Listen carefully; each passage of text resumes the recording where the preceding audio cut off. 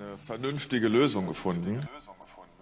Immer dann, wenn Menschen Hate Speech verbreiten, werden wir dies ersetzen, damit diese verfickte Scheiße, diese blöden Meinungen von diesen blöden Menschen nicht mehr weiter unzensiert an die Öffentlichkeit kommen. Dafür stehen wir ein, dafür haben wir keine Kosten und Mühen gescheut.